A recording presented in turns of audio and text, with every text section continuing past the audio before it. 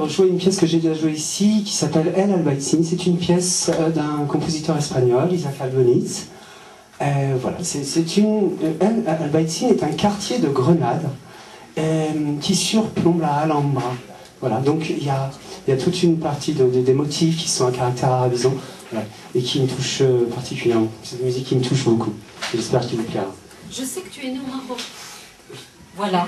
Et il est parti. Euh, non, mais pour vous dire les liens extraordinaires qu'on peut avoir à travers l'art et la musique, c'est toujours ça qui nous réunit.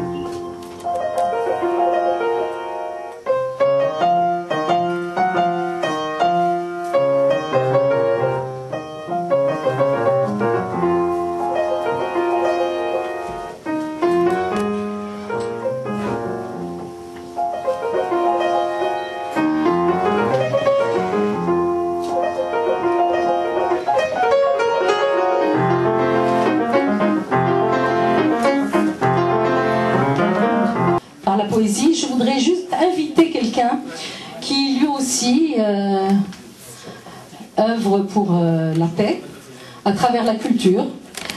Euh, c'est un ancien maire adjoint du 9e arrondissement.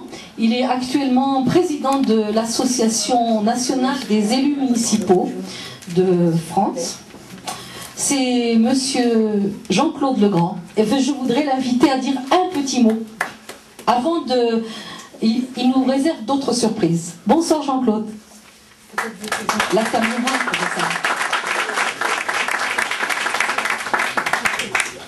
Merci.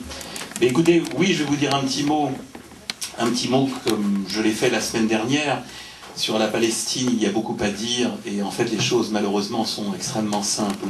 Avant tout, je voudrais d'abord saluer dans la salle mon, euh, différentes personnes qui m'accompagnent, mon collaborateur, euh, secrétaire adjoint de l'association et en même temps conseiller municipal de la ville de Houille. Vous voyez, beaucoup de gens s'impliquent dans cette, dans cette soirée. Florian Bohème, il est par ici? Non? Florian, le voilà, le voilà, voilà. Est-ce qu'on peut te dire bonsoir? Et merci d'être là aussi voilà, je vous euh, porte-parole de, donc de, mon, de, notre association, donc Agir pour les conseillers municipaux, qui est une toute jeune association, dont je vous dirai quelques mots ensuite. Je voudrais aussi saluer euh, mon amie, euh, comment dirais-je, Marie, Anne-Marie Petit, vous voyez, je m'appelle Jean-Claude Legrand, Anne-Marie Petit, ah. qui, est une, qui, est une, femme qui, qui, est beaucoup impliquée dans les associations à la fois grecques et turques à Paris. Voilà une autre fraternité. Ça, c'est très important aussi. Anne-Marie Petit. D'ailleurs, nous organisons un concert de musique grecque dans un restaurant turc, bien entendu, ce qui est bien normal, demain soir, au Kibélé, euh, rue de l'Échiquier, si ça vous tente, 20h, euh, 20h30, voilà. Donc, euh, pour toute cette fraternité sur la, Palestine, écoutez, les choses malheureusement sont, sont à finalement assez simples, si vous voulez. Mais c'est-à-dire que ce qu'il faut déjà ne dire qui est extrêmement important, c'est ne pas oublier qu'il y a deux peuples actuellement. Il y a deux entités, et ces deux entités existent de fait, c'est-à-dire l'Israël d'un côté et la Palestine de l'autre. Donc ça, je crois qu'on ne pourra jamais s'en départir, surtout de la Palestine, parce que la Palestine existe depuis toujours. Israël est relativement récent. Mais euh, les Israéliens, par contre, eux, sont là et ils travaillent, ils font vivre un pays. Mais les autres ont le droit aussi de vivre et de faire fructifier leur pays. Pourquoi les en empêche-t-on? Bah, Tout simplement parce que la convoitise de la terre, euh, ça, c'est quelque chose que l'on a bien compris. Tout le monde est, parfaitement au clair sur, ce fait. Or, pour cela, on fait la guerre moi j'en veux beaucoup au gouvernement israélien. Alors là, il y a point de Kadima, de, de Likoud d'un côté, il n'y a pas besoin de s'intéresser pas plus au Hamas de l'autre côté ou au Fatah. C'est la guerre d'un gouvernement contre un peuple. C'est-à-dire pour pouvoir accéder et pour pouvoir coloniser une terre. Les exemples de colonisation sont, sont énormes. On, ne peut pas continuer comme ça. C'est indéfiniment. Ça n'est pas possible. Et si, si, Israël a le droit de vivre, la Palestine aussi a le droit de vivre. Et pour cela, euh, il, faut, il faut se mobiliser.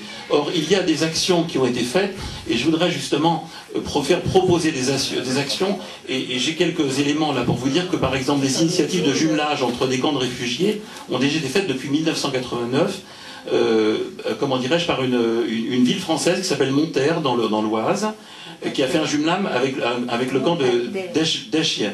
Hein, ou Comment La ville de Montataire. Montataire, ah oui, très bien. La personne qui te reprend, c'est aussi une élue de la République. Oui, très bien. C'est sénateur des Yvelines. Ah, sénatrice. Sénatrice, pardon. Ah Vous voyez, on est. Eh écoutez, il y a deux élus des Yvelines. Voilà. Les Yvelines sont surreprésentées ce soir. Ben oui, c'est voilà. Et tu avais, tu avais parlé d'une proposition. Oui, alors je vais y, je vais y venir, euh, euh, Fatima. Et je voudrais aussi dire qu'il y a aussi sur le réseau coopération, merci pour Montater et non pas Monterre. voilà, euh, le, réseau de coopération décentralisé pour la Palestine, créé par les Cités Unies de France, initié par Bernard Stasi, en partenariat avec Leila Shahid, et leur séjour dans des territoires en 2005, avec une délégation de Philippe Séguin, Bernard Stasi, Jean-Pierre Chevènement et Michel Delbar. Donc vous voyez, il y a eu beaucoup d'initiatives. Et Michel Delbar, d'ailleurs, qui, était député, qui est député maire de socialiste de Dunkerque, a créé le réseau européen Euro-Gaza, qui regroupe les villes de Barcelone, Turin, euh, Tromsø en Norvège et la communauté urbaine de Dunkerque. Donc vous voyez, beaucoup d'initiatives sont faites dans ce sens. Euh, l'implication des collectivités locales euh, en Palestine correspond euh, à, beaucoup de choses. C'est-à-dire, euh, ce que nous voulons, nous, c'est notre, notre jeune association, c'est nous avons déjà, nous avons déjà la démocratie, mais nous voulons la promouvoir dans le monde. C'est une, une œuvre absolue, absolument, enfin, nécessaire et, fondamentale. Et pour ce faire, nous avons pensé, nous, nous voulons proposer une chose, c'est de faire un jumelage entre notre association, nous voudrions sur, notre association faire un jumelage entre différentes villes, petites villes et villages palestiniens et différentes petites villes et villages israéliens. La, la, paix se fait entre les deux parties. Elle ne se fait pas seule d'un côté. Donc nous proposons, nous, à, Gaza, particulièrement, Gaza, mais même aussi la Cisjordanie, hein, euh, avec, avec, avec euh, Israël. Euh, ça, c'est extrêmement important, parce qu'il y a des forces vives en Israël qui existent, il y a des forces de gauche notamment, qui luttent beaucoup pour que, et, dans les défilés que nous avons eus à Paris, nous avons eu beaucoup de, de, comment dirais-je, d'associations juives. Et ça, c'est extrêmement important de noter. Ça, c'est relativement nouveau aussi. Donc je pense que c'est à encourager, et, et, nous devons continuer dans ce sens, pour œuvrer pour la paix.